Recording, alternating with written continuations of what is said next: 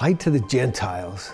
I think that was one of the first uh, kind of biblical pieces that I ever attempted. Uh, the story is of Mary and Joseph, the baby Jesus. I think uh, this is when Jesus is 40 days old.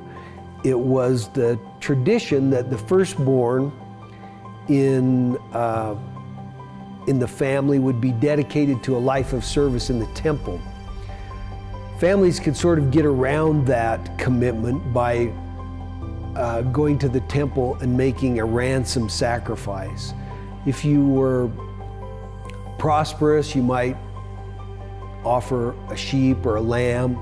If you were under more humble circumstances, you could bring a dove or a pigeon. And Mary and Joseph, that's what they brought. So they, uh, in the painting, Joseph has a little wooden bird cage with a couple of doves in it.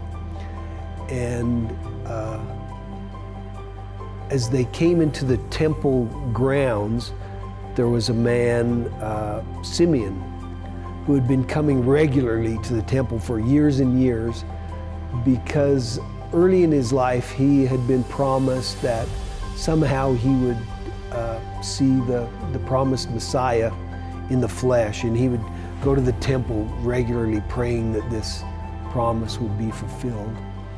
And somehow on that day he saw this ordinary looking little trio father, mother, little baby coming to the temple grounds, and something told him that this was what he'd been waiting for.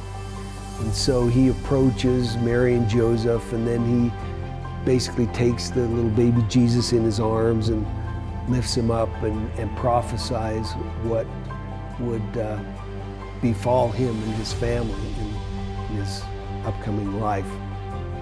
There's also uh, a woman, Anna, she's seen in the background, an elderly woman, and, and she also uh, recognized this little baby as the promised Messiah.